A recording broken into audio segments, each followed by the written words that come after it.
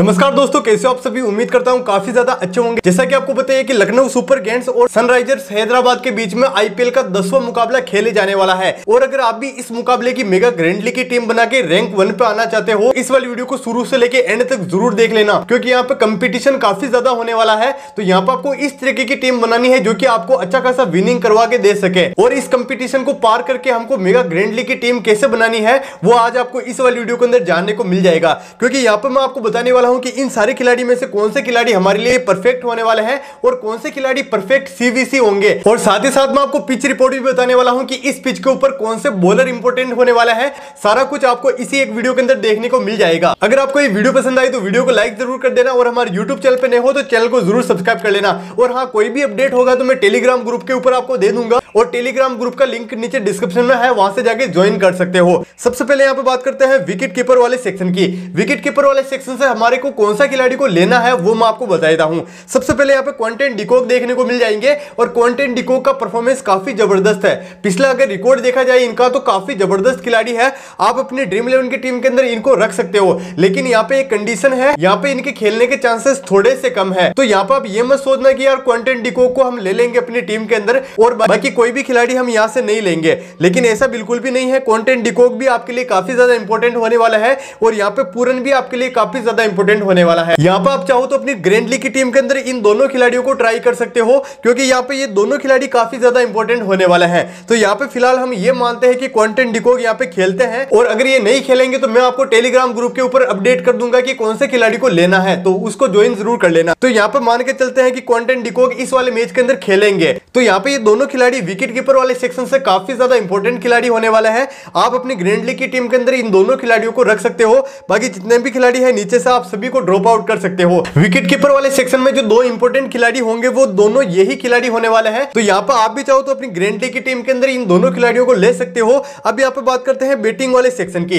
Batting वाले section से हमारे लिए कौन सा खिलाड़ी इंपोर्टेंट होने वाला है? सबसे पहले यहाँ पे के राहुल देखने को मिल जाएँगे। के राहुल का पिछले दस रिकॉर्ड देखा जाए तो कुछ खास नहीं है। तो यहाँ पर आप डायरेक्ट इनको ड्रॉप आउट कर सकते हो। इसके बाद यहाँ पे नीचे होगी तो मयंक अग्रवाल देखने को मिल जाएँगे। आप अपनी ग्रैंडली की टीम के अंदर मयंक अग्रवाल को ले सकते हो। यहाँ पे मैं भी अपनी ग्रैंडली की टीम के अंदर लेने वाला हूँ, क्योंकि यहाँ पे बैटिंग वाले सेक्शन में ज़्यादा इंपॉर्टेंट खिलाड़ी हमको नहीं देखने को मिलते हैं तो यहाँ पे कम खिलाड़ी लेंगे, लेकिन बेस्ट खिलाड़ी लेंगे। तो यहाँ पे मयंक अग्रवाल को आप चाहो तो ले सकते हो, यहाँ पे नीचे आओगे तो यहाँ पे आपको राहुल त्रिपाठी देखने को मिल जाएँगे। काफ़ी सारे लोग इनको ड्रॉप आउट करके ही चलेंगे, क्योंकि इनके पिछले मैच कुछ खास नहीं है आईपीएल के अंदर तो आप भी चाहो तो इनको ड्रॉप आउट कर सकते हो, क्योंकि यहाँ पे बॉलिंग वाले सेक्शन में काफ़ी ज़्यादा इंपॉर्टेंट खिलाड़ी है, जो कि भाई विकेटे पे विकेटे निकालेंगे। तो भाई यहाँ पे बैटिंग वाले सेक्शन के ज़्यादा खिलाड़ी नहीं टिकने वाले हैं तो यहाँ पे आप चाहो तो यहाँ पे राहुल त्रिपाठी को भी ड्रॉप आउट कर सकते हो। बाकी इसके बाद यहाँ पे नीचे आओगे तो यहाँ पे एस शर्मा देखने को मिल जाएँगे। इनको भी ड्रॉप आउट कर सकते हो, हेरी ब्रुक को भी ड्रॉप आउट कर सकते हो और यहाँ पे दीपक हुडा को आप चाहो तो ले सकते हो अपनी ग्रैंड लीग की टीम के अंदर। क्योंकि ये भी प्लेयर अच्छे हैं, अगर ये चल जाते हैं तो काफ़ी अच्छी परफॉर्म करेंगे। तो यहाँ पे दीपक हुडा का भी ऑप्शन काफ़ी बेस्ट होने वाला है, अगर मेगा ग्रैंड लीग की टीम बना रहे हो और एक यूनिक टीम बना रहे हो तो आपके लिए दीपक हुडा का भी ऑप्शन काफ़ी बेस्ट होने वाला है।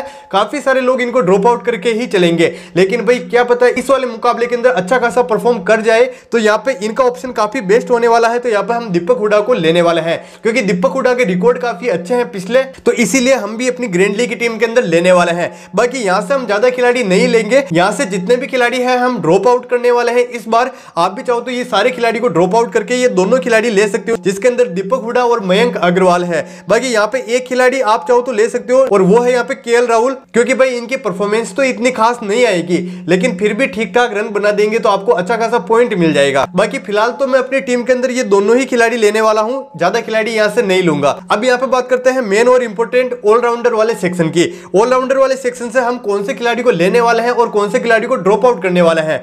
सबसे पहले यहाँ पे आपको माकरम देखने को मिल जाएँगे। शायद ये इस बार खेलने वाले हैं और अगर ये खेलते हैं तो भाई आपके लिए बेस्ट प्लेयर होने वाले हैं अपनी मेगा ग्रैंडली की टीम के अंदर। इनको ज़रूर से लेना। तो फ़िलहाल मैं भी अपनी ग्रैंडली की टीम के अंदर इनको लेने वाला हूँ। आप भी चाहो तो ले सकते हो। और ये ऑलराउंडर है भाई विकेटे भी निकालेंगे, फिर भी हमको पॉइंट मिलेंगे और अच्छी खासी बैटिंग करेंगे, फिर भी पॉइंट मिलेंगे। तो यहाँ पे इनका भी ऑप्शन काफ़ी बेस्ट होने वाला है आपके लिए। इसके बाद यहाँ पे नीचे आओगे तो यहाँ पे स्टोइनिस देखने को मिल जाएँगे। स्टोइनिस को हम यहाँ पे इस मुकाबले के अंदर ड्रॉप आउट करने वाला है। आप भी चाहो तो ड्रॉप आउट कर सकते हो। बाकी इसके बाद यहाँ पे नीचे आओगे तो यहाँ पे सुंदर देखने को मिल जाएँगे। सुंदर का भी परफॉर्मेंस ज़्यादा कुछ खास नहीं आने वाला है तो आप चाहो तो इनको भी ड्रॉप आउट कर सकते हो। तो यहाँ पे जो तीन खिलाड़ी है, इन तीनों खिलाड़ियों को आप ड्रॉप आउट कर सकते हो इस वाले मैच के अंदर, क्योंकि ज़्यादा जो परफॉर्मेंस आएगी वो बॉलिंग सेक्शन से आने वाली है, क्योंकि विकेटें भी ज़्यादा निकालेगा, वो बॉलर ही निकालेगा, और बॉलर जो है वो इस बार काफ़ी अच्छे बॉलर है हमारे पास, और वो भी दोनों टीमों के बॉलर काफ़ी बेस्ट है। तो इसीलिए यहाँ पे विकेटें निकलने का चांसेस ज़्यादा है तो इसीलिए मैं यहाँ से कम खिलाड़ी लेने वाला हूँ, और जो खिलाड़ी इंपॉर्टेंट है वो ही लेने वाला हूँ।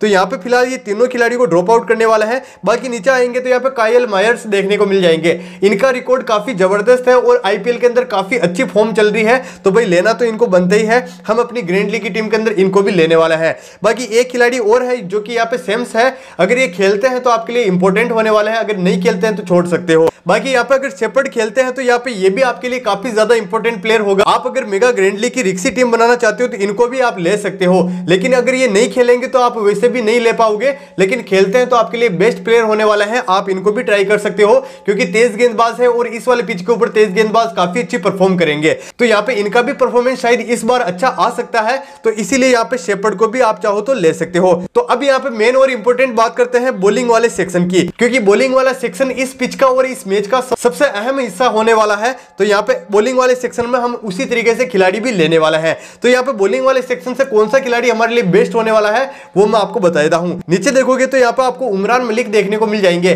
उमरान मलिक का परफॉर्मेंस इस वाले मैच के अंदर काफ़ी अच्छा आने वाला है। आप अपनी मेगा ग्रैंडली की टीम के अंदर उमरान मलिक को ज़रूर लेना। तो यहाँ पे फ़िलहाल मैं भी अपनी ग्रैंडली की टीम के अंदर इनको लेके चल रहा हूँ, आप भी चाहो तो लेके चल सकते हो। बाकी नीचे आओगे तो एक खान देखने को मिल जाएँगे। तेज गेंदबाज है, काफ़ी सारे लोग इनको ड्रॉप आउट करके चलेंगे, लेकिन आपको ड्रॉप आउट नहीं करना है, आप अपनी ग्रैंडली की टीम के अंदर इनको ले सकते हो, क्योंकि इनका भी परफॉर्मेंस काफ़ी अच्छा है और ये भी विकेटें निकाल लेते हैं। तो यहाँ पे इनका भी परफॉर्मेंस इस वाले मैच के अंदर आ सकता है तो यहाँ पे हम इनको भी लेके चलेंगे। तो यहाँ पे आप चाहो तो इनको ले सकते हो, बाकी नीचे आओगे तो यहाँ पे मार्क वुड देखने को मिल जाएँगे। भाई मार्क वुड का जो परफॉर्मेंस है आईपीएल के अंदर काफ़ी ज़बरदस्त चल रहा है तो यहाँ पे हम इनको भी लेके ही चलेंगे। तो यहाँ पर आप भी चाहो तो मार्क वुड को ले सकते हो। बाकी इसके बाद यहाँ पे नीचे आओगे तो रवि बिश्नोई देखने को मिल जाएँगे। इनका भी परफॉर्मेंस इस वाले मैच के अंदर काफ़ी अच्छा जाने वाला है और आईपीएल के अंदर काफ़ी अच्छी फॉर्म चल रही है। तो भाई लेना तो बनता ही है और ज़्यादातर हम खिलाड़ी जो ले रहे हैं वो बॉलिंग वाले सेक्शन से ही ले रहे हैं। क्योंकि यहाँ पे विकेट निकलने के चांसेस काफ़ी ज़्यादा है। यहाँ पे बॉलिंग ज़्यादा होगी और विकेट ज़्यादा निकलेगी। तो इसीलिए मैंने यहाँ पे ज़्यादातर जो खिलाड़ी लिया है वो बॉलिंग सेक्शन से ही लिया है। तो इस चीज़ को भी आप नोट डाउन ज़रूर करके चलना। बाकी यहाँ पे हम एक खिलाड़ी और लेने वाले हैं बॉलिंग वाले सेक्शन में और वो है यहाँ पे फारूकी को लेने वाला है। फारूकी का भी परफॉर्मेंस काफ़ी ज़बरदस्त होने वाला है। तो यहाँ पे आप देख सकते हो कि हमारी जो टीम है, ये कुछ इस तरीके की टीम बन चुकी है। जो कि हमारी ये जो टीम है, ये काफ़ी ज़्यादा रिक्सी टीम है, काफ़ी अलग और काफ़ी यूनिक टीम भी बनाई है। तो यहाँ पे आप देख ही सकते हो हमारी ग्रैंडली की टीम किस तरीके से बनी है। विकेट कीपर वाले सेक्शन से दो खिलाड़ी को लिया है बैटिंग वाले सेक्शन से दो खिलाड़ी को लिया है ऑलराउंडर वाले सेक्शन से भी मैंने दो खिलाड़ी को लिया है और ज़्यादा खिलाड़ी मैंने लिए हैं बॉलिंग वाले सेक्शन से। क्योंकि यहाँ पे इस मैच के अंदर बॉलर काफ़ी ज़्यादा इंपॉर्टेंट होने वाला है। तो आप भी चाहो तो कुछ इस तरीके का कॉम्बिनेशन ट्राई कर सकते हो, जो कि बिल्कुल डिफरेंट होने वाला है। बाकी अब मैं आपको बता देता हूँ कि इन सारे खिलाड़ियों में से सबसे बेस्ट सीवीसी का ऑप्शन कौन सा खिलाड़ी होने वाला है। तो सबसे पहले यहाँ पर आप विकेट कीपर वाले सेक्शन में देखोगे तो यहाँ पे क्वेंटन डिकोक देखने को मिल जाएँगे। अगर ये खेलते हैं इस बार तो आप इनको वॉइस कैप्टन क्रिएट कर सकते हो। बाकी अब आपको सीवीसी किसको क्रिएट करना है, वो चाहो तो आप यहाँ पे माक्रम को कैप्टन क्रिएट कर सकते हो। और वॉइस कैप्टन की अगर बात की जाए तो यहाँ पर आप बॉलिंग वाले सेक्शन में फारूकी को या फिर उमरान मलिक को कर सकते हो। तो आपके जो सी और वीसी है, वो कुछ इस तरीके से होने वाला है। आप भी चाहो तो कुछ इस तरीके से सी और वीसी क्रिएट कर सकते हो। और यहाँ पर अगर आप लगभग तीन टीम बनाते हो मेगा ग्रैंडली की तो यहाँ पे खिलाड़ी तो आप ये रख सकते हो, लेकिन सीवीसी आप अलग अलग चेंज भी कर सकते हो।